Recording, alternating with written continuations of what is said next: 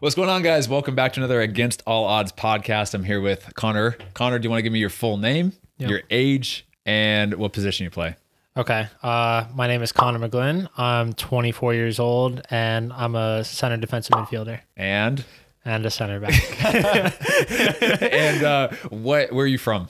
I'm from Queens, New York. Queens, New York. Yep. Okay, so I'm gonna roll the intro, and then we'll get started on the podcast. Awesome. So from Queens. Actually, first, you know, before we even get into your story, I wanted to talk about just the contrast from my last guest to Okay. Gotcha. you. Uh, Tulu is cool. He's Right. interesting. Okay. He's tough. He's manly. Okay.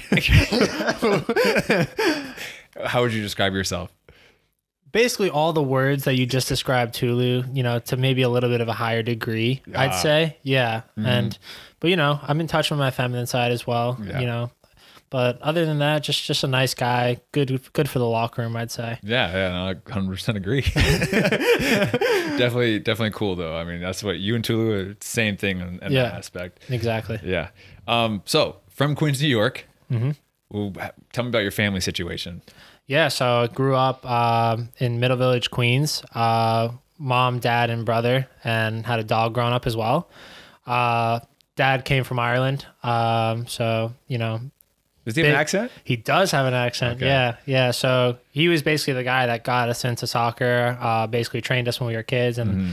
my mom's from Queens, grew up in Queens, so she's been super supportive this entire time. And, and a lot of people know I have a brother, Jack, who's currently playing for the Philadelphia Union in the MLS. So Mm-hmm. you know, I grew up around a tight knit group basically. But no, it's been a it was a great childhood growing up with three very supportive people. Yeah. Your brother's been starting the last couple games. Yeah, Right? yeah. Doing so well? yeah, no. Unfortunately, they lost to, to LAFC, but he's been absolutely crushing it this year. You know, Mm-hmm. at 19 years old, only I think he's you know started more games this year than he did of all of last year so far. So no, he's been he's been really crushing it, especially with the Union and at the U20 level at Yeah, the, the national team. So That's that's really cool. yeah. Um. And then you guys are five years apart, then, right? Five years apart, yeah. So he's I'm a '98 and he's a 2003. So crazy to think about. Makes you feel super old. That's what's insane is like I think about anybody born after like 2001 is that they weren't alive for 9 You probably don't even remember 9 11. Mm-hmm. I don't know. Yeah. I don't. I was a baby basically. Not to like make the mood of the podcast all down, but from New York too. So you know, Yeah. definitely definitely hits home a little bit more. But yeah, I don't remember that at all. yeah, that's that's it's weird. Like you see the teammates all of a sudden just shift like that. Yeah. So, but yeah, no, he's a young kid, and I think he's got a great future ahead. So Yeah. we'll see what happens. Yeah, that's sick. And then so for you, like you said, your dad's Irish. Yep. And did you play like any other sports growing up, or was it just footy, footy, footy from the very beginning? Uh, I played basketball for a bit. I was pretty good at free throws, but I could never really get to the free throw line. Yeah, gotcha. So you know, kind of took me out of the game. Unfortunately, you know, I was pretty useless then. Yeah. But no, basketball was really fun. You got to meet new friends. Um, but yeah, soccer from the get was was kind of my thing. And were you always a big kid? Because you're six foot four. Right. Yeah. And sometimes I look at you and I see like five nine McGlynn because you don't want to go up for headers. Right. Yeah. No, naturally. But, But like- five nine's generous. You know, five Were you always were you always bigger as a kid? no, I was actually uh, pretty much a late bloomer Mm-hmm. up until I got to college. So going into high school, I was like four Mm-hmm. So I think I showed you a picture one time of me. It, was, it was pretty bad, but um, Can I put it on the podcast? you I- could. Yeah. Okay, yeah. okay, I'll give you permission for that one. if you're listening, go to YouTube, look up this podcast just so you can see this photo because it's funny. No, I mean not funny. I was. It's It's funny. It's, it's, it's funny. Yeah, it's funny. You've come a long way. You've come a very definitely come way. a long way but yeah i was never the biggest kid you know i had to rely on more of my technique but now it's it's kind of the opposite Mm-hmm. so i've just kind of grown into my body and now i'm watching my brother do it at this late he's also a late bloomer he's 19 Yeah. and now he's kind of sprouting up kind of like i did Because how tall is he now? he's six foot or six foot one now so he's getting there and then soon he's gonna fill out and obviously be strong like me so you know that's exactly just- exactly. All right cool. And then so did you and your brother like have a lot of like i'm obviously you trained a lot together Mm-hmm. but was there a lot of competition i mean even though you're five years older did you guys compete with a lot of stuff or was it just like more you were like more of an older mentor like teaching him stuff? No, I think I think me playing against him and kind of beating him up a little bit as a kid, I def- definitely think made him stronger. I think you can see it when he plays. I think he's he's always confident. He's comfortable on the ball. Like doesn't matter how big the guy is. Like he's still confident to mm-hmm. want the ball and get the ball. So I think we always had that competitive edge with each other. You know, we would train, do one v ones and stuff like that in the mm-hmm. backyard, and you know, try different moves. So that was always just such a fun part. We just go over. We were lucky enough to have a a park across the street from our house in That's Queens, sick. which you know, there's not a lot of land to have parks in Queens. So we were lucky enough to live across the street, and um, yeah, we just go over there, play one v ones, try different moves, and see what worked, see what didn't. But no, it was it was a great experience, and we were definitely super competitive. And you said that your dad had like trained you for most of that. How what was the like the ratio? What was the split of like your dad actually going out and doing like proper sessions with you guys versus you and your brother just going out for fun, kicking around, doing one v ones? Yeah, so we usually we get home from school, um, and then just you know we'd go by ourselves, uh, just play a little one v one before we actually had team practice. Mm-hmm. So I think the one thing that my dad instilled in us is that like you know the team practice that we do is not enough. You know, you're not getting enough touches. Like you're not, you know, it's not individualized. So. You know, he would either train us before practice or we would go by ourselves over to the park and just play 1v1 or or do some passing with each other just to work on different aspects of our game before we actually got to the team practice. That's so true. Like the the individual, it's not individualized, and it's like what a lot of people understand is like team training, especially at the pro level. But even when you're at like a, the youth level too, is it really is about the team, and it's just Right. like the there's a lot of times you're playing 11 v 11. There's one ball, you can play for 15 minutes and get 10 touches. Absolutely. So like for you to be able to do an extra stuff, individual stuff, whether that's ball mastery, one v one, shooting, getting extra reps doing that, because you're not going to get that in your team session. Right. Team sessions are important for you to learn how to play and make all those decisions on the field, but it's not the amount of touches that you need to become a pro. for sure. For Even if you're training five days a week with the team. Oh, for sure. Yeah. I mean, you're playing your games on the weekends. It's so very structured when you're growing up. You Mm-hmm. know, you have your team training two, three times a week, but it's definitely not enough to reach the le- next Mm-hmm. level for sure. and even at the pro level it's even more so because like even though like yes we start still are trying to develop and everything but like really it's about just winning on the weekend Right. and so it doesn't really matter about your individual development as a player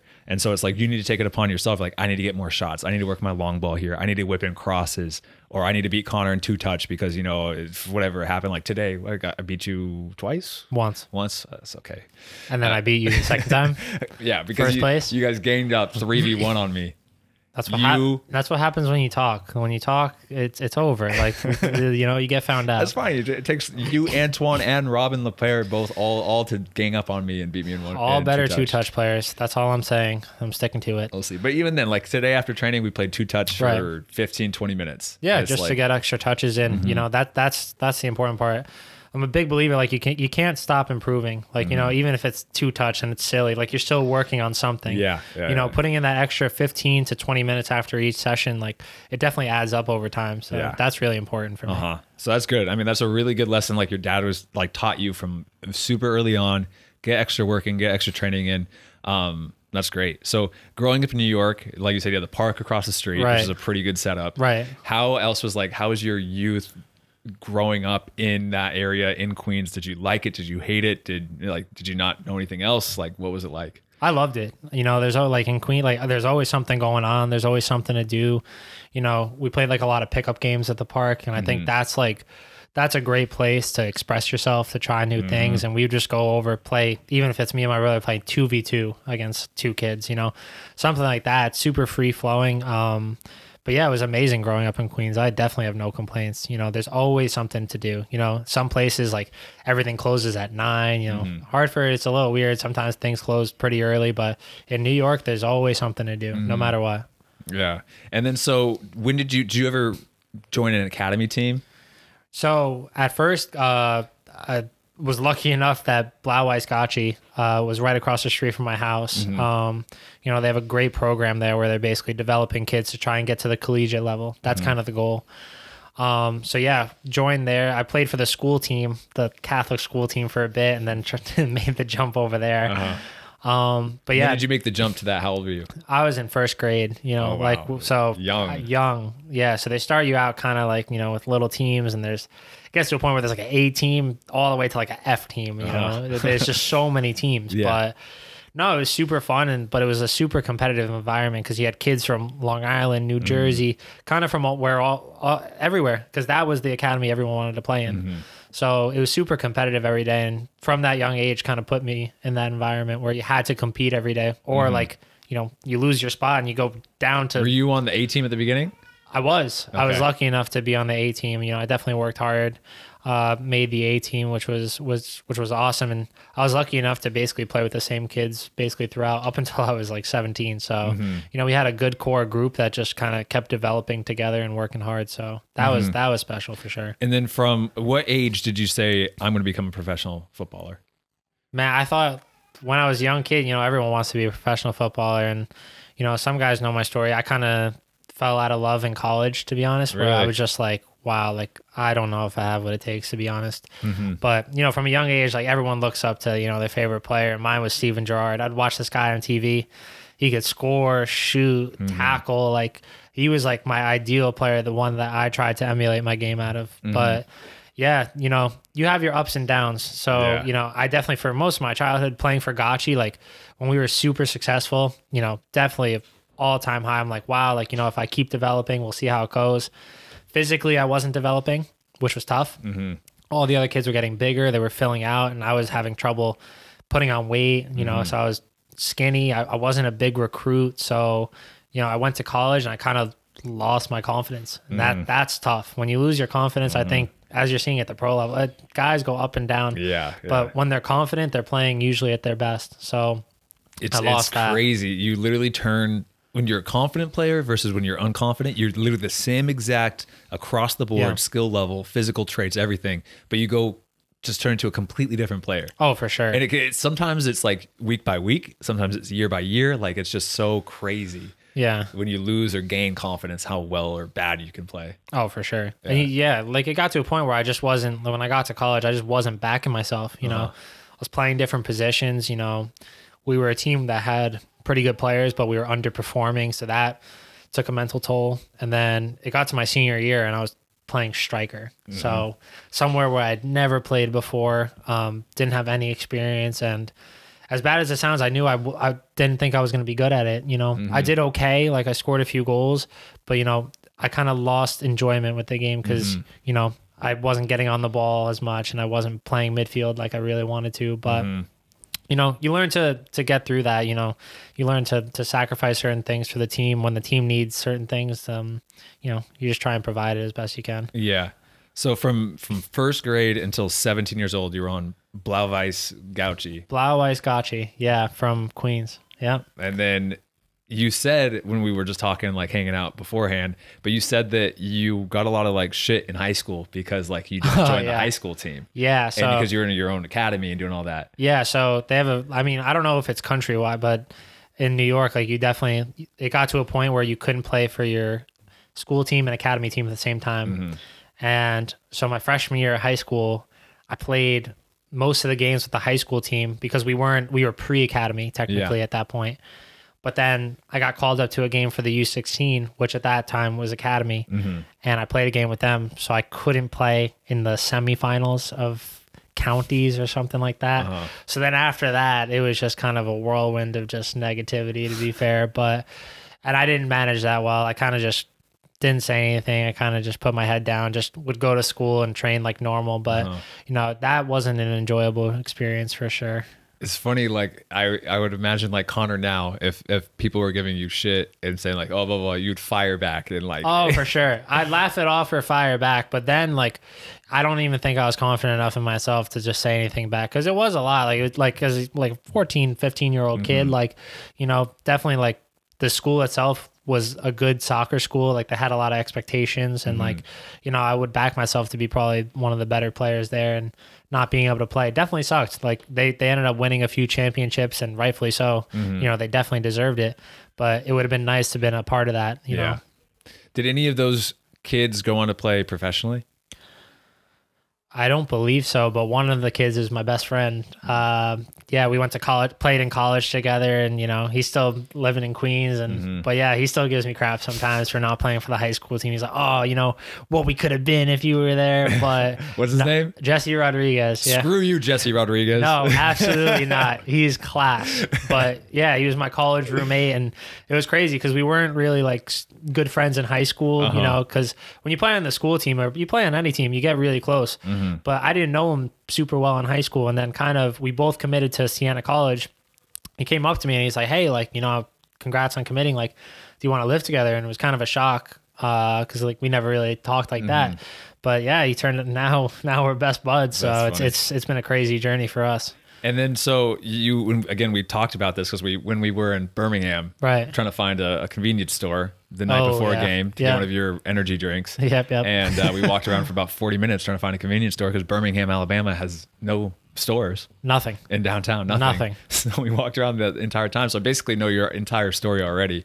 But you said that like in high school, like I was like, "What'd you do? What'd you do for fun? Like did you have Right. sleepovers, all this stuff?" You, you, it was just grind. Like you just Yeah. went to school, you trained with your dad and your brother, you went to team training, Yeah. and you came home. Yeah, that kind of was it. You know, I had a, a solid group of a few friends, and that's all I felt like I really needed. Like, I would hang out with them sometimes after school, but, you know, a lot of the focus uh, was on just getting better because, you know, I think I get I got to a point where I realized like how big a college education and a college scholarship would be. So working towards that, I think was super important.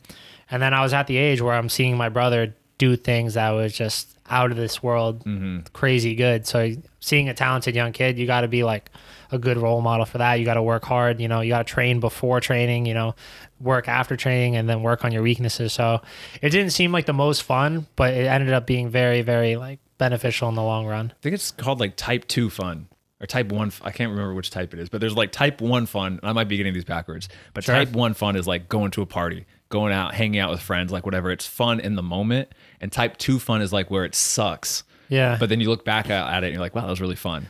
No, I'm telling you, because we had some, you know, even, even my mom could attest to. She go to some of the sessions as well. Like there were some crazy sessions where we're like, you know, so tired and dead, Yeah. but you, we know like all that work you put in, like, you know, eventually it'll come to something good, mm. even if you don't reach your goal. Because I, yeah, I told you, I got to a point where I was like, wow, like I, I don't think I'm going to be a professional at all. Mm-hmm. But you know what, like I worked so hard at something, and like you know, I can say that I did it. You know, that I worked my ass off, and and maybe it didn't come, but still worked really, really hard. So whatever I put my my efforts into, I know I'll be really good at. Um, what did one of those sessions look like? Like, what walk me through like a typical McGlynn family session? Okay. Um, so we, as you know, we are not the quickest family out there. So we would do. You're not bad though. You make fun of yourself, but you're not I'm not slow, but I definitely am not. fast. Fast. That's not one of your better qualities. Not one of my you better know what's qualities. funny? I got a video coming out tomorrow about how you can succeed as an unathletic or slow footballer. And just put a picture. Me. So, um, like we would do like lot of footwork drills, um, you know, doing ladder work, you know, hurdles and stuff like that. because we were we were in athletics, so and we were also like super skinny, so we do a little bit of strengthening and stuff like that, uh, whether that be push ups, sit ups. But then it was everything was with the ball. It was basically like we said it was fitness with the ball, which you know, where that be like dribbling, passing, like stuff like that. Um, but I think you see it in our games now, like we're pretty good, like confident with the ball. And Yeah. I think what my dad tried to get in us is just be confident all the time with the ball, Mm-hmm. no matter who's on you, where you are, like just be comfortable with the ball. So we kind of kind of did drills kind of around that. That was one of the, the first things I noticed about you when I came here. And like I've played against you, I've seen you play, but like you still you see you and you're six foot four, you're a big guy. Yeah. And then you're like, okay, like, you know, you have an like a conception of like what you're gonna be like on the field, but then you're so good with the ball in tight spaces and fluid with the ball. If like I said, I, I call you look you look like you're five nine, but you look like a smaller, very technical center mid, but then you're also bigger, stronger, everything too. It's it's rare to see players that are six foot four with your feet. That's the only compliment I'll give you in this podcast. Fair enough. Fair enough.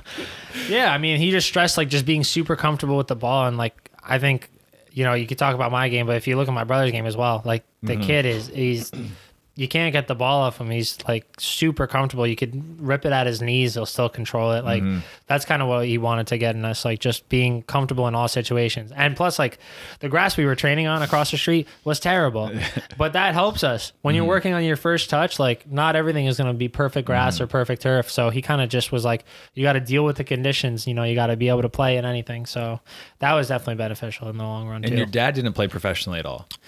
He played. He played different sports. Uh, you know, he played some Irish sports, Gaelic football. He was Yeah. very good at handball. Um, but yeah, when he came over, he played like kind of like semi-professional. But yeah, he he definitely was a good player. I remember going as a kid to watch some of his his games, and he was definitely a very good player, um, holding midfielder as well. But yeah, I think he wanted. He's more of a like a tough tackler, like maybe not as technical, but he tried to instill. Hey, you got to tackle, you got to be tough, but also let's be good on the ball as well. So I Yeah. think that was a good. It's a good combination. And now he's coaching in uh, the NISA. He is, yeah. So um, he's with the Savannah Clovers in NISA, and he's this is his first time coaching men. So you know, me and him, we talk twice, three times a week just about his experience and how he's doing. And you know, the maybe the results haven't been necessarily there, but he's definitely been enjoying his experience, learning. You know. What to do, what's not to do at that level, because he's been exceptional, like coaching the the Gottschee Academy and stuff like that. So, this is this is a big jump for him, but I'm very very happy and very proud of him. Yeah. How did you get recruited to Siena? Um, Was it through the your academy team? Yeah. So the good thing about my academy team actually is that we were very good. Like we would go to the showcases and like we we went my my last year we went undefeated up until the playoffs, which is crazy because we were beating all the MLS academies, you know. Um, and you know we were kind of like a ragtag kind of group, but we have some guys that have went pro. Um, but no, we were just just tough to beat and we could score at the other end. But yeah, all the college coaches would go to the the development academy showcases, so that's kind of how I got recruited. But a lot of my teammates got recruited to like these big schools, and you know, I, I did well. I did well with Gottschee, but I wasn't you know big, strong, and mm-hmm. fast, kind of like what some schools are looking for. So mm-hmm. I think Siena was definitely a good fit for me for sure. Did you have interest from uh, uh, like other schools? A few, a few, but not big. Like interest from like Army, Fairfield, just a few of the mm-hmm. smaller schools. But yeah, no, a lot of my teammates were, were able to commit to college, and that's honestly the goal of the academy, just Yeah. to get kids placed into college. And then so, do you sign like your junior year, senior year? When when did you sign with uh, Siena? Uh, the end of my junior year. I think that's basically when most people try and sign, or or the beginning of their senior year. So yeah, it was the right timing for me. I thought, you know, they were offering a full scholarship, so I was like, wow, I, I have to take this. You know? that's pretty good. yeah. And then so you went to Siena, and then you already kind of hinted at it already, but you said that like you lost all your confidence going there. Why? And like when was it? Was it the first year or? Yeah, so my first year, um, we did exceptionally well. We made it to the playoffs. We had a home playoff game, first time ever. We ended up winning. We get to the semifinals. We play against Rider University from New Jersey, and we go into penalty kicks. And I take the fourth one, and I miss, and I miss, and then they score the next one, and they win the game. And you know, as a freshman, like you know, I was one of the only freshmen that played. Like but all I just I felt like I just let everyone down for mm-hmm. sure. So as young, I was only 17, just a young kid. I was like, wow, like I really just let I felt like I let the whole school down. So that definitely like took a toll, and it I definitely didn't get over it for a while. Like it took took a bit to get over because it felt so serious in the moment. But looking back on it now, it's like, you know, things like that happen so many times in professional games. You know, one call, one PK, you know, it goes a different way, and happens the World Cup. Like happens in the biggest stages of football. So, mm-hmm. you know, but when you're in the moment, it feels Yeah. terrible. You and, know, and you we talked about this before. Like you always have said that you are really hard on yourself right? and like extremely hard on yourself Yes. with your mistakes to the point where you're staying up all night thinking about it. And every every I feel like every footballer who takes their game seriously, like I will replay my game over and over. My mistakes that I did, like why did I not just take one step this way? Why didn't I? Yeah. Why did I not just jump there? Whatever. Why did I not stay over the ball and like get it on frame? But like I feel like you are very very hard on yourself with that. Yeah, I think I'm just always looking to improve, and like you know, I think it's gotten to a point where I've worked so hard that when things maybe don't go my way, that I have to maybe reanalyze a little bit and just work on certain aspects. You know, even with the Birmingham game, like on the second one, maybe Mm-hmm. trying like if I take one more step and it's like, oh, maybe if I do one more ladder drill, you know, it's tough to think. It's Yeah. tough to think that way, but it's like, you know, Mm-hmm. you want to do it as best as you can. You want to give your best effort. And that's just, you know, it comes in training, working hard every day and doing that extra 15, 20 minutes like we do every day Mm-hmm. will add up. Yeah, yeah. Do you think that that mentality has hurt you more or helped you more in your career? I think it's definitely helped me more. I, I don't know. I don't know necessarily how it would hurt me too too much. I think maybe I could have spent more time with like friends and family and stuff like that. I was just thinking of the fact of like you then taking it so seriously that it adds too much stress, and then you get on the field, and then all of a sudden now you're playing less confidently, or like at co- in college when you were like in a Yeah. dark place. I think ever since I've been to Hartford, I've been able to manage that a bit more. Uh-huh. Like I'll watch the games m- more logically Yeah, rather than emotionally. I think in college, like when I'd mess up, I would look at the games more emotionally and, you know, then I get down on myself. But here it's like if I make a mistake, it's like, all right, like how can I fix it? Or, Mm-hmm. you know, talk about it with teammates, you know, see how we can fix it as a group. So I think looking at it more logically is definitely a, a better thing for me Yeah. personally. I went with like a wave. Like I was like high school senior year. It was just like almost like what you described your brother. Like it just not that you don't care, but you're just like I'm just playing like so confident. I'm just gonna play. Like mm-hmm. no big deal. Like I don't care about mistakes. Like I know I'll be able to succeed the next play. Mm-hmm. And then it peaked. And then as I was going and trying to join professional teams, I was faced with a lot of like adversity of like not making a team, Right. getting cut, cut, cut. I started over analyzing, going into a trial, being like, I can't let this one slip through my hands, and putting Right. too much pressure on myself up until like the first two years or so. And then like I realized it was negatively impacting my game. And then I kind of like learned to manage it better as like f- year four or five. For sure. Yeah. And so it was like a weird dip at the beginning of my professional career. right. So it was just uh, it's just weird how it hits you. Um, but then so yeah, so you put you know you put a lot of pressure on yourself in college. You got in like very down on yourself when you missed the penalty, and so Yep. that was what kickstarted like Kind of, yeah, because I'd done well all year. You know, I got I made the all rookie team, like going into the playoffs, super confident, and it kind of was just like a kick to the face, kind of Yeah. kind of back to reality. Like, okay, like you know what, like you know, it took a while, but it's like, all right, I need to get back to work because you know I was Mm-hmm. determined to get back to the playoffs the next year, and then we didn't get there. And then that only brought me down more. Mm-hmm. So it, it was definitely tough. I felt like I had a lot of responsibility, like to make up to the team for, for missing the penalty. And, you know, I, I wasn't living up to, to my own expectations. Mm. and I think that's the hardest is when when you're doubling down on your work and training more and the results don't get come or you're not seeing the results you want and then you're like I need to work harder. I Yeah. someone's going and you just dig yourself in a deeper and deeper hole. Yeah. Add Yeah, more yeah, and more pressure on yourself and it just compounds and builds and builds and builds. Oh, it's a terrible feeling. It sucks. and It's then like terrible. it's it's hard because like the best way to get out of that is like just be like, oh yeah, continue to do the work. You're gonna have your up years and down years, but just continue to do your work. Keep the same attitude. Be a little bit more carefree on the mistakes and just focus on the next play. But keep working how you're working. And like don't like I've I, you know you, you can keep on training and having the great same sessions, all the individual sessions, and have the best year of your life. Right. And then do everything the same, and all of a sudden, a couple things go wrong, and your team's not doing well, and you Yeah. don't have the best no, for sure. like it's it's it's it's hard um how did the next couple of years go like how did junior and senior year go Junior year was somehow worse than sophomore year just same thing or why in terms of stats, like stats wise, Mm-hmm. just terrible. I was, and then again, I felt like I let the team down. And then at the end of the year, I was captain my my sophomore and junior year. Mm-hmm. I got the captaincy stripped from me um, because the coach said, "Hey, you need to stop worrying about everyone else and you need to worry about yourself." And also, you're going to be playing center forward. so that was an interesting meeting, uh but definitely was a lot. I definitely didn't take it well, but that summer, you know, I was playing summer league um, with FA Euro in Brooklyn. Just tried to, you know, kind of is that usl league two or League Two. okay. Yeah, USL League Two. Uh, so yeah, great, good group of guys there. But I just tried to, you know, better myself, better my game. Um, knowing that I was going to be playing center forward was a little jarring, Yeah. especially because I was playing six the entire summer. Um, but yeah, I kind of just went in with the right attitude senior year and scored a few goals, and I made a all conference team, which was great. Um, but definitely wasn't enjoyable. We didn't make the playoffs and we underperformed as a team. So, Mm-hmm. you know, I'd much rather do super well as a team and not perform myself. Yeah. Um, so it was tough because I felt like I put in the work, I, I performed, and you know, we just we didn't get the results that we wanted as a team. So that was that that sucked for sure.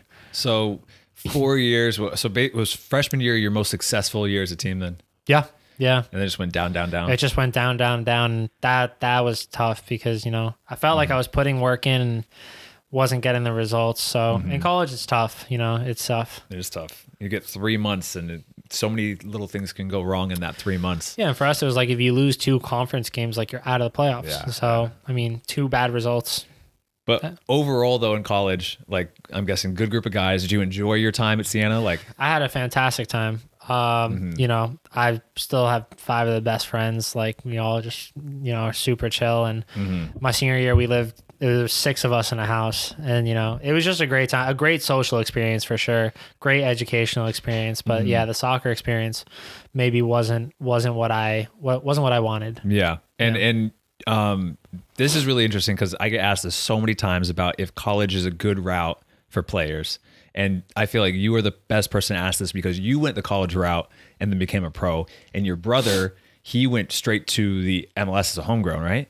Uh, yeah, yeah, yeah. Um, so exact opposite paths, pretty much. Both ended up playing professionally. What are your thoughts on the college soccer as a route to the professional game? Good, bad? Would you do it again? Like all that stuff. Um, as, you know, college soccer is just completely different than, than the professional game. I think Mm-hmm. it's much more physical. Um, you know, you can kind of make subs on the fly. At one point, there was overtime.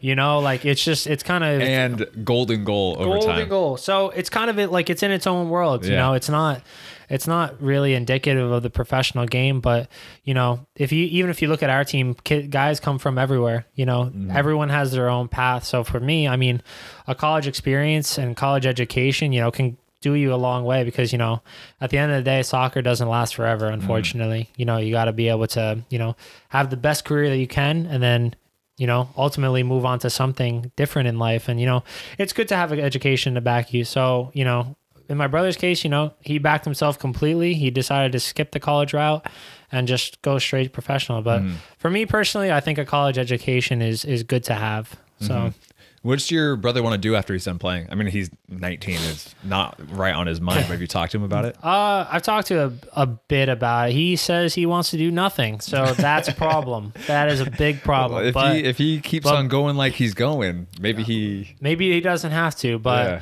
You know, me and him, we've we've always like talked about opening like a facility or something like that to do mm-hmm. like private and group training and stuff like that. You know, those cool facilities you see at you know, turf fields and just do it nice, like do it very well. Mm-hmm. So that's what I think. In We- Queens? kind of where wherever we end up, you know, we, mm-hmm. it doesn't have to be because in Queen it's super expensive Yeah. in Queens, you know. So like yeah, in New York it's it's maybe not viable, but somewhere else, somewhere Yeah. else to to do it right. But yeah, I my parents have been on him about getting his education online because the MLS offers a program Yeah. where he can get his education for free. But you know, right now he's solely focused on soccer, so I, I get that. I get that. Mm-hmm. Yeah, I I mean that's what I tell kids that ask that question. I'm like, look, like most kids, their full goal is like to play professionally, Hmm. and that's you know how I was. That's how you, probably you were as well. Right. But a lot of times, like when you're 16, 17, 18, those professional routes aren't just popping up like that. Yeah. And if they're not popping up, it's like that's where college soccer I think is so good. Oh, it's perfect. You get yeah. four years, especially for you. And I, I said I was a late bloomer, but you even more of a late bloomer. Um, but for kids who are not at their physical peak to play with men at 16, 17, 18 years old, I mean, it's perfect to get another four years of developing. I'm sure you developed a ton at Siena. for sure. And then you can have another chance. Even if you if you're ready in a year, you can drop out and go. Oh, for but sure. it's like I think it's just so great for the kids who aren't ready at 16, 17, 18 with professional teams wanting to sign them. Try it, give it a go. Four years later, you can reevaluate and go for the pro game after Yeah. that. Yeah, like the thing is, like like I said, like all my childhood I was working technical, technical, technical, right? And then you get to college, it's a different game. Yeah. Different like you're in the weight room four or five times a week. You guys were lifting four or five times. I It thought we were doing three times a week. And I thought yeah. that was crazy. So, you know, I needed that. Yeah. As as weird as it sounds, you know. yeah. Um you know, and then you just you're surrounded by food basically. You know, you have these dining halls where you just go and you kind of eat whatever and you know, no one you don't have your parents watching while you're eating, so you're kind of on your own, but you're just surrounded by food and weights, you know. so you're going to develop, you know, like like that's uh-huh. just the way it is. Like you just you develop a different side of your game, a more physical side of your game. Mm-hmm. So I felt like that was what I kind of was lacking. Mm-hmm. You know what's funny? I was the exact opposite boat. Like even though I was a late bloomer, I really had like a big junior, senior year, freshman year of college of like developing. Right. And then but still like I was always like faster, more athletic, like just run, go. So the college game was perfect for me. Like I you're making the face. I'm still hey, 30 years old, I can still move pretty well. Uh-huh.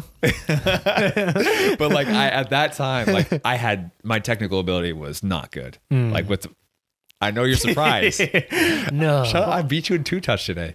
But it like I at that age, like I needed just to work with the ball. Right. what was good is like I was surrounded with a really good group of guys who Right. realized that like, look, just how we described earlier, the team training sessions at college and then going to the weight room is not going to be enough to, to go For play sure. pro. Yeah. So we would four or five of us would literally go hop the fence at UC Davis. We had stole a key and open up the little lock for the balls and the Okay, little stuff that's illegal.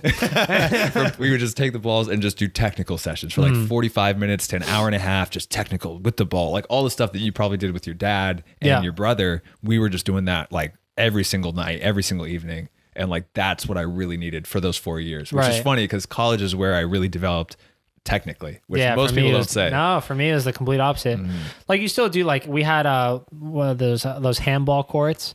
Yeah. And just playing off the wall, working on your passing. I think like that is like, you know, it was just a resource that was just there and you know, you just all you need is a ball and the wall and Did you go by yourself or you go with friends? I go by myself. Yeah. Yeah. I felt like, you know, it, it was just good alone time. Like you get away from your classes and Mm-hmm. stuff like that. It's just good to to just do that for 30, 40 minutes and just have fun with Bro, it. it's a workout too. It is, yeah. You're like dripping in sweat after that. For sure. It's a great workout, but you're getting so many touches. That's the that thing. it's 30 minutes of that, you're getting four, 5,000 touches. For sure. Like it's insane. Yeah. And it's just like cutting, turning, juggling, taking the ball in the air, like doing everything. It's just, it's crazy. And like anybody that wants to work on their first touch, passing, like technical ability, just go to the wall. And like you don't even have, need to have a plan. Shut up. You don't, even, you don't even need to have a plan. You just, Right. just kick the ball and just react to it. Mm-hmm. Like that's, that's one of the best things you can do.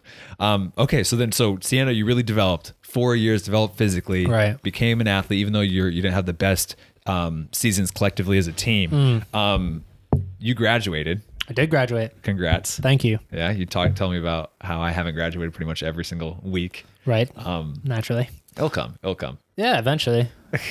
But uh, from then, walk me through graduating from Siena, and then what your next steps were after that. So, um, uh, yeah. So, obviously, our season ended.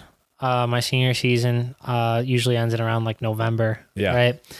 So, my brother at that point was training with you know the union a little bit and seeing his path there, and I was kind of stuck. With winter in Albany is cold, you know, whatever. So.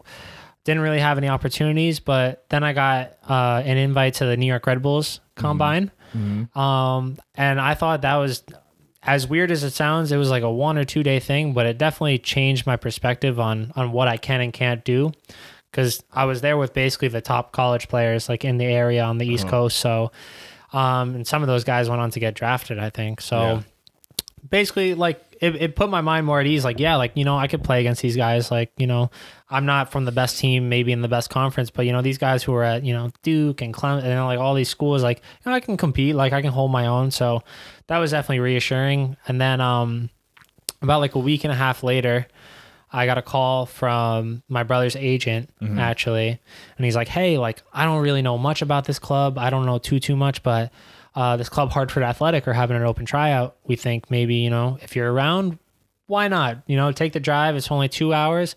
Just see how you do." So. I Paid the hundred seventy-five dollars and went down there, and definitely a jarring experience because when I got there, there was like hundred and thirty people. Yeah.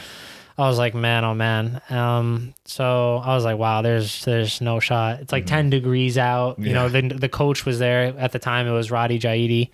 Um, just came from England, so with Southampton's U23s. So you know, he was high level prem player as well. You know, so he he was overseeing everything, and you know, I got there. I signed in or whatever, and I I didn't get to play for the first hour because there was just so many people there. And just on that, it was just one field. It was two fields, two and I still didn't get to play for the first hour. I'm freezing. Uh-huh. I honestly was just like thinking about going home because like at that point I'm like, wow, like I I- what what do I have to show? You know, Yeah. maybe I'll play for like 30, 40 minutes tops. But I actually got in one of the short sided game and I chipped the goalie from like half field. And then Radhi started watching me play a bit. And then they kind of split up two 11 v 11 games based on level. Mm-hmm. And I kind of did well there. And we had a conversation after. And, and then they're like, so I just assumed that if you do well there, you just go to preseason. Yeah. No, no, no, no, no, no. There's an invitational tryout. There's levels. So then they go, yeah, you and this one other kid, Alfonso, come to the invitational tryout and see how you do. So went to the invitational tryout.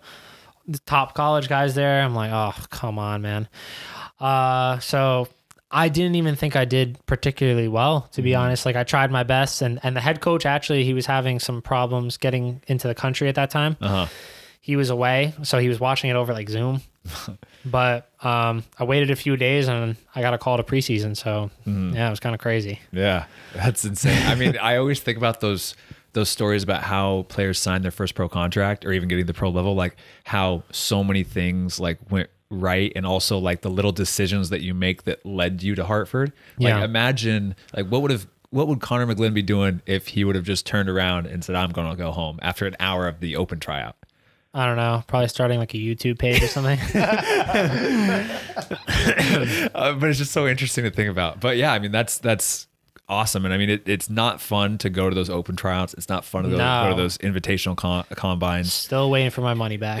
yeah. And That's in the next contract. You Yeah, gotta, you maybe. negotiate that hundred and seventy five dollars yeah, back. listen, I mean, it was the best 175 I've ever spent in my Paid life. off, good investment. But Yeah. what's what's so like what I liked too, what you said was like even going back all the way to the New York Red Bulls combine is like you saw the level right there of the top collegiate players there, and you said, "Yeah, I can hang, I can handle this level," and it gives you confidence going forward. Yeah. and like that was exactly what playing at USL League Two with the uh, San Jose Earthquakes U23 team did for me. Mm-hmm. Like I went in there originally like if I can just make this team, like I'm gonna be so happy. Right. And all of a sudden I was starting and playing well, and I'm like, wow, I'm going, I'm starting over guys at Cal or starting over guys Mm-hmm. and playing with guys at Stanford and doing all this. These guys are, all got drafted, or you Right. know. I'm like looking at that, I'm like, wow, if they can do it, I was on their team succeeding with them. I can do it too. Mm-hmm. For sure. And like that opened up my eyes. Like I should really try to go pro, and that's why it gave me the confidence to drop out of, of school after my senior year because I was like, all these guys that I was playing with and, and and doing well with, and I thought I was right at the level there. They're signing big contracts, Right. So that it's like the same exact thing. It's like seeing that level and comparing yourself is huge. Yeah. And then and then we got to preseason. That like this is a part of the story that not many people know, even including the coaching staff at the time, Uh-huh. is that I was still in school. Like I still had a semester left. Uh-huh. You know, not many people realize that you still got to graduate in Yeah. May or whatever. But but- so your mindset going to these tryouts and stuff like since you were still in school, you you you weren't fully invested in going pro then No. you- it was just Not like, oh, I'll all. see how this goes. I it was a kind of like yeah, it was kind of shot in the dark. Like I'll see how it goes. Um, but then I got the call to preseason. and, like and you were fully expecting to it not to work out and then to go back to school on the next kind Monday. of as bad as it sounds. Yeah. Yeah. like, but my mom And and last time I'm gonna interrupt you, and then you can Go tell. for it, I'm go for sorry. it, I'm sorry. I'm just I'm just curious about it. So, if it wouldn't have worked out, you would have gone back to school on Monday Mm-hmm. and just finished out the the semester and then graduated and yeah. and done that. Okay. Mm-hmm. Yeah. That's interesting. Interesting. tough Do you think, think- that was the right decision? That was I said it the last time. This is the last time. Do you think that was the right decision? Do you think you would have gone back to yourself making that decision and be like, look, go in head, you know, head first, dive in? Or do you think it was right to kind of still be in school? Uh, I started to regret the school thing when it got, especially the preseason time, because you know my school was two hours away. So, and I also like when I got invited to preseason. You know, I, I didn't have housing in Hartford. I was lucky enough that some of the guys on the team were super nice, like let mm-hmm. me have one of the rooms and so just a place to stay. But they were kind of the only ones who knew that I was going back and forth every day. So, and I had a professor at Siena. I only needed three or six more credits. She was helping me out, staying super late at night so I can go to class. So my typical day at that point, it was I was up at five. I'd drive the two hours for training. We it was preseason, so there was some double sessions. We would train at nine, take a little break, and then train usually around like two or three. I'd drive back to Siena two hours for a class from six to eight thirty, just an individual with the professor, um, just to get all my work done. Um, But she was super patient with me. Like I, you know, she didn't even know much about soccer, but I told her, I'm like, listen, like I'm taking this very seriously. Like, you know, I think that was the point where I'm like, wow, like I, I can really do this. Like that's mm-hmm. when I'm like, wow, you know, this is a real possibility. I can sign with this team. And I was doing that for about a, almost a month, which was the gas bill, man, was crazy. but, you know, I was I had the most supportive mom and dad. You know, they just said, just keep going, just keep going. You know, just and the scary thing was is there was a lot of trialists coming in. You know, mm-hmm. different guys coming in every day, and you know, people were getting cut each week. Mm-hmm. That was the worst meeting. Was like on like Friday or Saturday after we'd have a scrimmage. You know, you'd just have your individual meeting, and they'd just be like, you know, yes or no mm-hmm. in terms of coming back for the next week. It's so not even like yes, as in we'll sign you. It's like yeah, come back on Monday. it's just yeah, it wasn't like oh we're gonna offer you a contract. It's Yeah. yeah, yeah, you can keep training with us. Yep, yep. So it was definitely scary every week because I was seeing my friends just like leaving. It's like what happened to them? Uh, the meeting didn't go well, you know. So um, that's where I like you know there was definitely a fire in me. I just you know the fact that these days were so long, like I was like wow, like I really really want this. Like I love the guys on the team. I love the environment 1st of all because you know the jump was crazy. It took an adjustment to to get used to that speed of play. So um, yeah, definitely a crazy time. Very thankful for the professor who, you know, Yeah, that's un- unreal. Like Who- that who- she would stay there just for you Yeah. to do that. Yeah. Like not getting paid any extra. not like, getting paid extra. She she had a kid and she would be like, yeah, like listen, like we can do the labs, like we we can make it work. And you know, it was definitely long days because you know, I told you before, I was going home to a house with six guys, Yeah. and mind you, we were in college, so there was. I'd get home some nights. There was blaring parties at our house. So imagine like you're getting home, you have a class from like six to 9 Mm-hmm. and then there's a party at your house, and you were trying to sleep, and you have to get up at five a.m. For the next day preseason, for- for preseason where you could potentially get cut. Yeah. So it was definitely nerve wracking, but you know, it. I think it just showed me how much I really wanted it. Mm-hmm. So it was great. And especially too, I mean, the payoff, it's not like you're working for this for a million dollar contract. No, It's it's the USL contract, especially coming in four years ago, five years ago as a rookie, was very small. And you're doing this literally just because you love the game and you are dreaming about being a pro. right. And so like all this, like everything you go through, the driving two hours, the staying after to do the to, to do the extra um, full labs with your teacher, missing out on parties with your friends, and literally just be like, I need to go to sleep, and because I got this tomorrow. Like it's just so crazy, like the grind that you go for in order to get to here. And Yeah. it's like it's you know it's a, it's a USL contract. It's it's literally all the player. I love it here because the I mean obviously I want to go higher. Right. all the players are just so they love what they're doing because if they didn't love it, they'd go do something else. Oh, for sure. No, it was it. It seemed bonkers to me, and it definitely seemed bonkers to my friends because it's like, you know, you're at that point. It's like second semester, your last semester senior year. You know, mm-hmm. I missed out on a senior trip to Miami.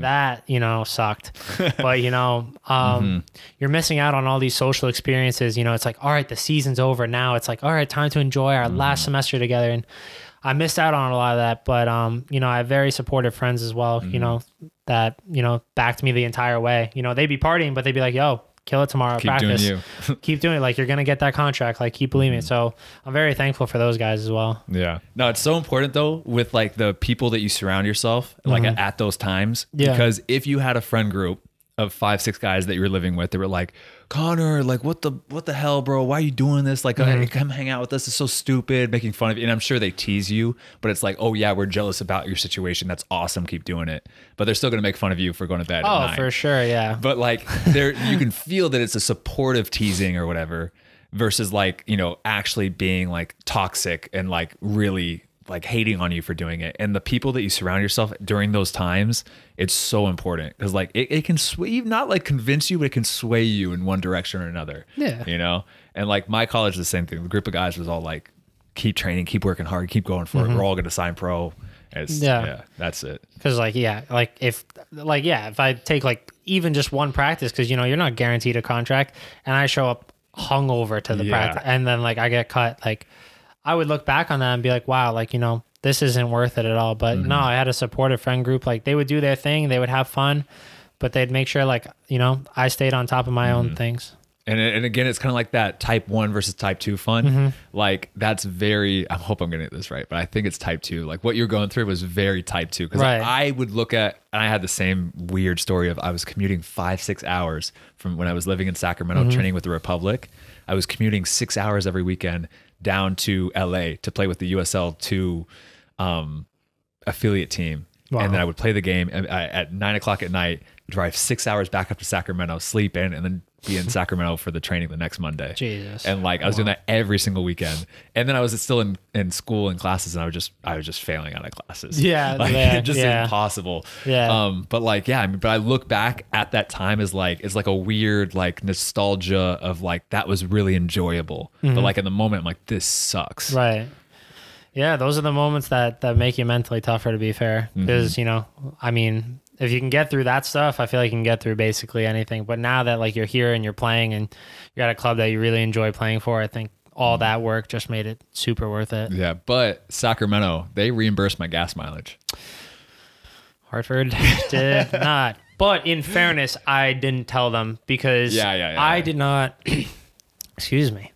I did not tell the staff because I didn't want them to know that I was like 50 50 Yeah. about, you know, I wanted to show that I was super serious about making the team. Yes. And I that my full focus was making the team. I think that's smart. Um, I told a few staff members after what I was doing, and Mm-hmm. I think some of them kind of figured it out. Um, because I was getting the facility like super early, and they're like, I was like, yeah, it was a nice drive today. You know, there's no traffic. It only took me an hour and 45. yeah. So, but no, it, it was definitely worth it. Um, for sure. So Yeah, yeah. And, and I think it is different though in our situations because they literally told me like, yeah, you can train with us, but you need to play with this team in LA. And you were, Oh, wow, yeah. yeah. So you were like, oh yeah, I'm, I'm trying to still juggle both, but you did. You ended up signing your professional I did. contract with Hartford. I did. How did that go? What was did they call in your office and you thought it was another meeting or how'd it go? I just thought, yeah, I was. I thought it was another meeting, and they, I think they, they made the last cuts or whatever. Um, And is this still in preseason or are we in season now? It was like a week before the season was about to start. Okay. Um, and then yeah, so I signed my first contract. Like parents were super proud. Um, my brother just signed the week before, so it was definitely Mm-hmm. a good like two weeks for us. So it was super nice, and and we knew we were going to be playing against each other eventually Really? because he was on Philly too at the Okay, time. yeah, yeah, yeah. so uh, we knew like we were in the same conference as well, and then um, we were scheduled to play Red Bulls two the first game at, at Red Bull Arena. I got into the starting eleven that game. All of a sudden, COVID. COVID. Oh, this is 2020. We were getting on the bus Uh-huh. and we were literally like about to leave. And then someone goes, Hey, like this canceled. Like all the games are canceled. Like, and then we were off for a few months. yeah. I so thought- I was going to play my first professional game and yeah, I kind of got, kind of got ruined. I thought that was 2019 that you signed your first pro contract. That's 2020. 2020 Damn. COVID year. Yeah. So, I mean, yeah, I can't even imagine. I had so much anxiety and like and good excitedness and nerves and everything about that first my first professional game. Um I can't even imagine that being delayed like that. Right. Like especially the day of because you're so close. Like you're Yeah. about ready to do that. like if I'm being honest, I you know I worked really hard that preseason. I, I think I definitely earned my my spot and respect from a lot of the guys on the team. But I don't think my game was ready. Mm-hmm. If that makes sense. Like you know we played a few preseason games, but I still think I needed to to pick my speed of play up. Like I mm-hmm. think I still had like a lot a lot to work on.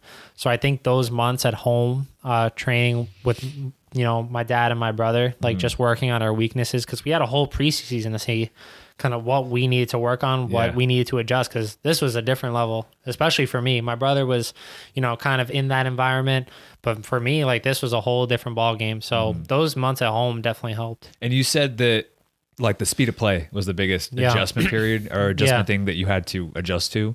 Um, like in what ways was that just literally just being the center of the field and being pressed quicker, like having to make decisions quicker, playing less touches? Like what was a, uh, specifically about the speed of play that you needed to adjust Yeah, I think to? it's just like you know things I was doing in college, like you know I would do this like weird rollback thing that sometimes I do to like and then switch the field. Like you know professional players like they'll jump on that, like they'll see it and they'll jump on it. So you know you can get away with certain things in college.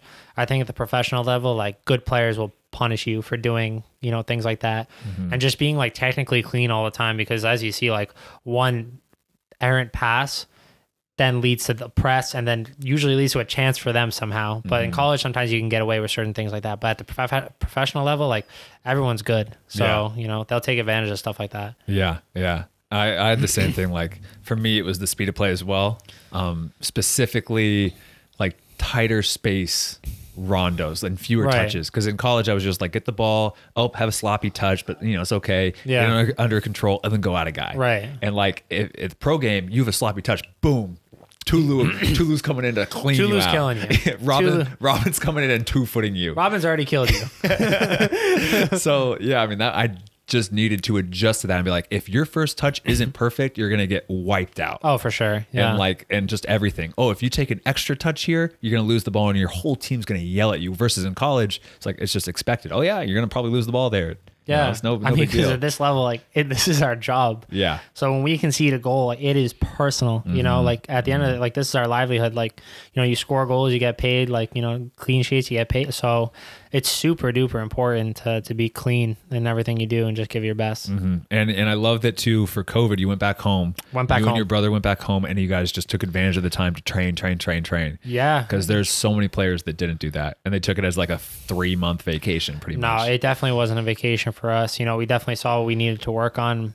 My dad, and my, my mom would come to the sessions too and just watch us kind of improve in certain things. Um, what did those sessions look like? Same as when you guys were pretty kids? similar. Yeah, pretty similar. More 1v1s because my brother, he's not the best, I'd say 1v1 player Mm-hmm. attacking. And I think that's what he needed to, to work on. So we did a lot of 1v1s because I'm more defensive. Mm-hmm. So I was helping him with that. And then for me, just to get technically better.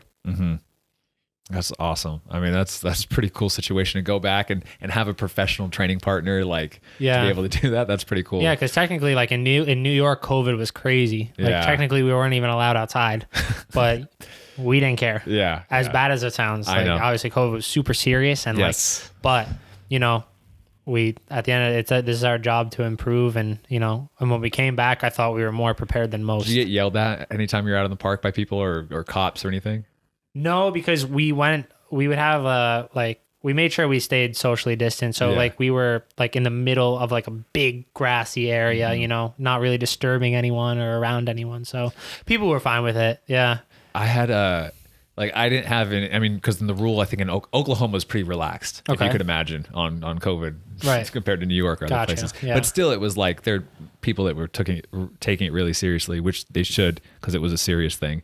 I'm digging myself a hole here, but anyway, so like I, I went out and I remember like um, training with a couple guys, which you weren't supposed to do. In Oklahoma, it was only supposed to be if in your house you could be with, Mm-hmm. Right. but you can't go outside of your house with other people. But we had a group of like four or five of us playing like a rondo or p- passing patterns at this huge field.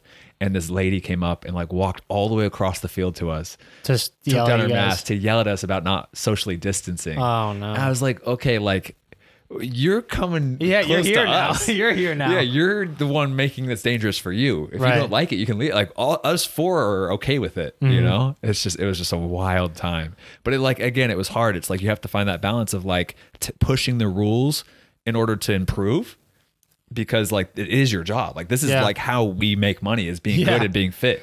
I can't just stay at home in my apartment, or else I'm I'll, I'll be retired. yeah. It was a really weird time. It was crazy, but it's good. I mean, that you took advantage of it, you improved, and then when you came back, how was the speed of play? I felt good. That's I good. Felt, I felt a lot better. Like you know, like when you're coming from the college level to a professional level, you know, maybe you don't feel the most confident at first, but you know, after working and working, I felt really confident going into kind of like that second preseason, that Yeah. weird thing that we had, Yeah. where it was like a two week thing and then you play games. Um, I felt good going into that.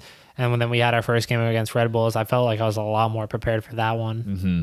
That's awesome. How did your first game go? good. We won. We Uh-huh. won. I played the full 90. I thought I had a good performance. Um, but yeah, uh, it was a crazy season because we only had like 16 games, I believe, and Yeah. we were in those like those conferences of four or five teams. Mm-hmm. Um, so it was good. We got to play Philly um, four times. So Play against your brother a few times. yeah, I You guys, think you guys trade kits and do the full photo and everything. Oh, we did the photo, not the straight kits, because we gotta pay for those. um, um, you traded kits, took the photo, and traded back. please give that back. It's Fifty dollars right there. Um, no, so uh, during the middle of the season, I sustained a knee injury. Um, so I only got to really play against him twice, but like the Mm-hmm. one time where we started on the field together was was crazy. And my parents have a funny video of us. I completely cleaned him out. Really? I didn't even go for the ball. The ball was 15 yards past, and I just cleaned him out. I got a yellow card. But he also scored against us once, which wasn't great. Yeah. Yeah, but then I also scored against them, but I got called back because one of our players trucked the goalie. Uh-huh. So that, but yeah, it was a goal, It looked good. Yeah. But yeah, he scored against. He scored a nice goal against us too, which was annoying. Then he did the Mbappe celebration. Terrible. that, that sucked. And That's cool. yeah, That's awesome. I, I mean, that's so awesome to be able to play against your brother like that at the. Uh, That was super weird because sometimes you want to pass him the ball. Like you're so used to passing him the ball Yeah. that you look at him and it's just like, okay, like I can hold you off because you're a little smaller than me. But no, he, he played well every time we played him. So That's that's really cool. Eh, uh, was it weird having your first year at the professional game, like with no fans? Like, because you're usually everybody imagines being a pro, and the first thing they think about is in the uh, stadiums and the fans. yeah, I mean, I don't want to like come at Siena like that because it was a great school. I had a great time, but we didn't get many fans. So I was kind Mm-hmm. of like used to that. It was mostly like parents and stuff that would come to the games, Uh-huh, uh-huh. you know, because the thing about Siena is like we, we didn't have lights. Um, so we couldn't play at night. Yeah. So a lot of our games were like during the day at like two or three o'clock, but people are in class, you know. So Yeah. getting people out to a game was definitely tough. Um, so I was kind of like used to kind of playing in the quiet. Just in your own, you know, You hear, hear, ev- you hearing hear, your mom up in the stands. you hear your, my mom, you know, cheering us on or the coach. Yeah. So And then how did uh so that was 2020? Um, you've been now you you've just been on one year deals pretty much. So you just Yeah. re-signed, re-signed, re-signed. And is this your fourth or fifth year? this is my fourth year Fourth here in year. Hartford. So how did the last two seasons go after COVID year? Crazy, yeah, definitely. You know, like any season, ups and downs. Um, yeah, my second year, uh, I didn't know what to really expect coming in. There was a new coach.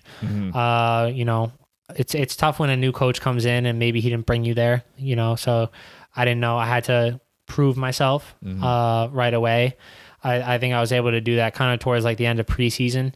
Um, then get my sp- starting spot, and you know I was lucky enough to score a few few goals, and you know few nice goals. few nice goals. Yeah. Few nice goals. Um, what was your favorite goal that you scored? I mean, probably the long one, the, the one from past half field. That's insane. Not even because of the shot, but it's because of the result. I mean, we won 7 0 against practically Red Bulls' first team. Yeah.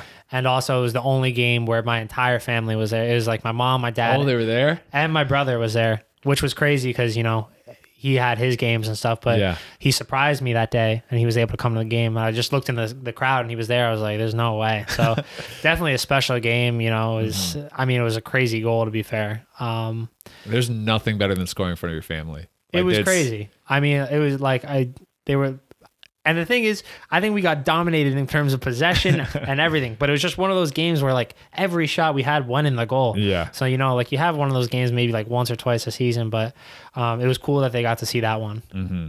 That's really cool. So yeah, the long goal. That I, you, you've had was it one or two or three? How many goals of yours have been on like the Sports Center top ten? Uh, two, two goals. two goals. Yeah. That's a pretty good. Uh, my very first, accolade. yeah, my very first one uh, was on, was number five, and then the long one was number two. mm-hmm. You can't get to number one. Well, the number one, it was, she broke. It was a lady who broke the hundred meter dash. Ah, That'll do it. Yeah. Yeah, but I kicked it farther. And then so after the so every year, pretty much, you've gone into the office of the coach at the end of the season and been basically with a new coach, yeah, wondering if you're, they're going to bring you back or if they're going to wipe the slate clean. it's a scary meeting for sure. And Yeah. you know, sometimes like you don't know, like maybe you think you did really well. And, and here in Hartford, I've just tried to like you know be myself and um, like around the locker room, and then just give my best every day in training. Um, I really think that's all I can really ask of myself. Um, but yeah, it's definitely a nerve wracking meeting for sure because you know you don't know if the coach is going to stay or go. You know, since I've been to Hartford, I've had a few different coaches, so you know it's it's been it's been crazy. Yeah. And then uh, how has the start of this year been been for you again? There's new coach Tab Ramos coming in. New coach, yeah. Um, yeah, I, I, I don't think maybe I had particularly the best preseason to be honest. I, I think I had to work my way in. Um, you know, maybe I was a bit down at times to be honest, uh, that I wasn't playing, but you know, um, I kind of broke my way into the starting 11 and you know, now I'm kind of here. I'm playing a little out of position, but it's a position that I'm still getting used to. Um, but I'm definitely enjoying playing and just, you know, trying my best. Mm-hmm. I think you do really well at center back too. I mean, I've played center back and I like it's it's a tough position. Yeah, It's a yeah. tough position. It it's is hard. tough. It's mentally tough. It's you have to be super sharp. Every you have that in the back of your head. The goal's right there. I'm like the last guy here. Can't mess hard. up. You can't mess you up. You can't mess up. Especially like you said at the professional game, one little bad touch, one bad pass, one whatever, it's going to lead to a chance. Yeah. And at this level, that chance is, is more often than not going to be a goal. Mm-hmm. So it is. It's a very. It's hard to play very confidently back there, especially when you're playing out of position that's not your normal spot. yeah. But I think you're doing, doing really well. No, I, yeah, I think I think Tabs definitely instilled confidence in me uh, back there, and and anywhere I've been basically playing at the six or back there. So I think it's been going pretty well. I feel a lot more confident than I did a few weeks ago, to be honest. hmm That's good. And then body feels good. Everything's good. Oh, it's destroyed. no, no, it feels good. It feels good. You know, we definitely. I mean, we have a big game this weekend, but Yeah. yeah, no, I feel good uh, for sure. They take good care of us. Yeah, yeah. It's just your ego's bruised from losing in two touch every single time against me. Ooh, And this is what I got to tell the people if people are listening to this, we play two touch and it's Conor, Antoine, Robin, and me. And the three of them lollipop the ball up, just easily play the ball up to each other to have the perfect set for one person to stitch me. And then I'd handle it, I'd deal with it, I play it over, and then they take a few times to just pop it up, pop it up, pop it up. Okay, you guys ready? Everybody's ready? Okay, the next one, Antoine, fired in at Matt mm-hmm. Sheldon. Yeah, and for anyone who is watching or listening, you can tell by watching his stuff. There's no surprise why we do that, right? it's, there's no shock here. Like, You go after the best. That's, that's what happens. It's fine. Yeah, it's fine. that- I've that- learned. that's I've, it. Mm-hmm. I've learned to accept it. But uh, that's good. So we're we got Memphis this weekend. Big game. big game. Very good team. They are very good. Yeah. Um. But yeah, anything in in season that you do, um, just to keep your body fresh and and ready. Um, I think it's good. You know, guys, some of the guys laugh, but I do, I do have a little routine. You know, Mm-hmm. uh, we go to this place called the JCC. Uh, yeah, so I stretch. You know, I go in the hot tub, pool, and then sauna or steam room. I think is kind of the routine that's that's worked best for me. You know, I, I think every player has their own little Mm-hmm. recovery routine. It's kind of like what works for you. Yeah, I know you talk about the JCC every single day. So I, love the ha- J- I wanted to give you a chance to plug the JCC. I love the JCC. I love it. every day. Hey, anybody going to the JCC? Matt, JCC? No, no. I gotta go back. I got a wife and kid. I gotta go back home. We're family. Now. You're right. I should prioritize Yeah, yeah. you. Um, but awesome. So uh, I have a few questions now to wrap wrap up the uh, the podcast. Okay. Um, one, what has been the all time best moment of your career? Wow. Oh, that's tough. I'd probably say signing the dotted line for the first pro contract. That's like you one. said, it wasn't for millions and millions of dollars, but I think it just showed like, you know, like I said, like from five years old, it's like something I wanted, fell out of love with it, then grew back in love with it. It kind of all came to fruition. And it was like, you know, it was a club that took a chance on me. So I was very grateful for that. You know, just an open trialist kind of, mm-hmm. you know, didn't really know what to expect from me. And the fact that they took a chance on me, I'm very grateful for. So that was definitely my best moment. What was your feeling like once you signed it? You're like, I'm a pro. I'm a pro footballer. My brother just signed last week. What was like the emotions that you had? Was it like extremely excited, nervousness, uh, like a, a release of like a, uh, of stress? Like, what were you feeling? I'm gonna be honest. I cried on the way home. Yeah, there you I go. cried. I did cry of, of like it was it was joy. It was just everything. Like everything kind of just came up. I couldn't believe it. You know, I called my parents. Like, you know, my mom has been super supportive. Like since birth. You Mm-hmm, know, like she is she's been my rock. And then my dad, who's sacrificed so much, came here, trained us, and like you know, that moment was really special. So it kind of all just came up. Yeah. Uh, cry baby. Yeah, kidding. basically. I'm just kidding. Yeah. No, I did the same. You know what's funny is my first contract I wasn't as emotional about. It was more of like a like an exhaustive like oh my god like finally because it took me so it took me a year and a half Yeah. of trials and so when it finally happened I'm like like fuck thank God like this finally happened and I was obviously very excited Yeah. but it was the uh, contract after I like had the surgeries. I had to drop down into semi-pro in New Zealand, and then I came back, and I was like, you know, especially with YouTube, everybody was in the comment section, "Oh, you'll never play pro again," all that, and then it was signing that contract with the Tulsa Roughnecks was the one where I like broke me down. I was like crying afterwards. Yeah. No, it really does do like it's amazing what a piece of paper can do. Yeah. It is crazy. But no, it kind of just all came to fruition for me. So that that was definitely my best moment. And what was the best moment on the field? on the fields, uh whew, probably uh, my first goal was definitely special because we were able to to clinch first place. I think after that game in our group.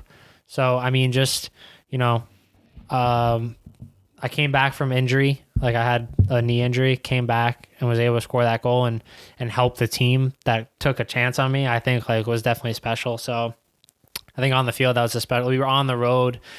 It was COVID, and we had fans in the the garage cheering us on Uh-huh. at the the Red Bulls field. So it was it was a crazy moment for sure. It was like towards the end of the game, but being able to help the team get to that spot, I think, was really special. That's awesome. And then what was the uh, worst moment of your career? Oh, probably when Elvis Amoh ran through my knee.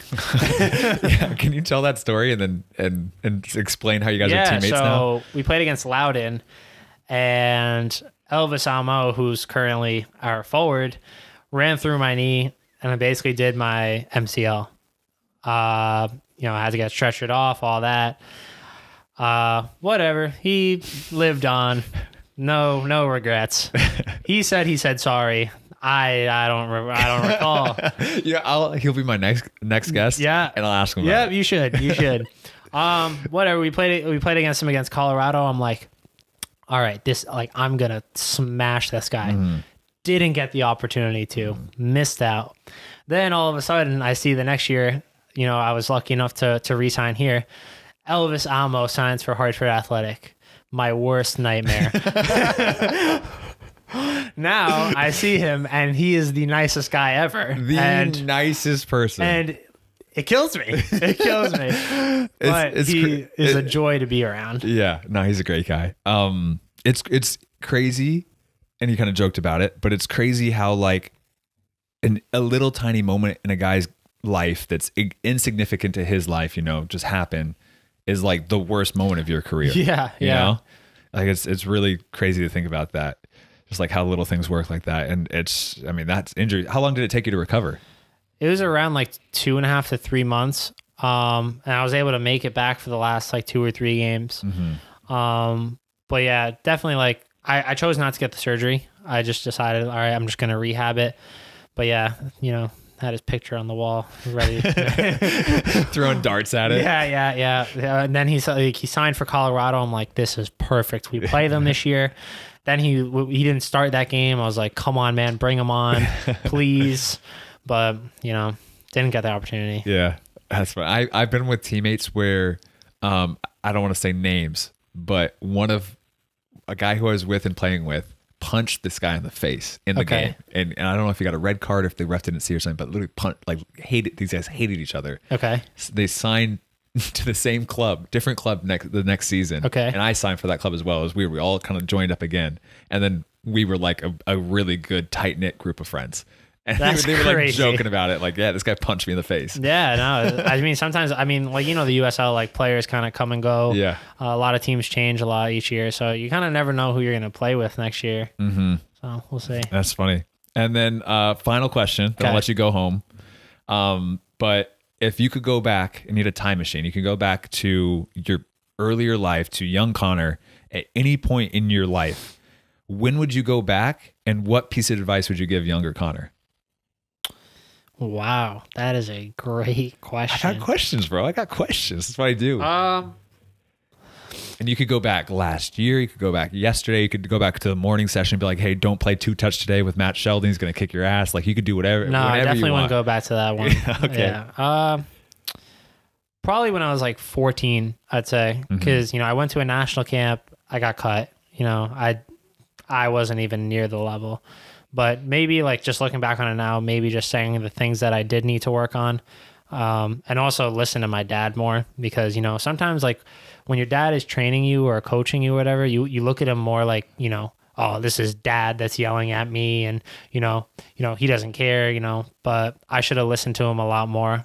And I'm not saying I would be in a much better place, but the advice that he was giving me, I think a more mature me would have taken that on board a lot quicker and I think it would have been a lot better. So I would have told, yeah, just listen to my parents more and, you know, take their advice. I want to send this to your mom and dad you should. Yeah. Yeah. they're great people. because it is it is true. I mean, my dad coached me with he coached me in every sport, Mm-hmm. but he played basketball, baseball, football, American football. Okay. and he never played soccer.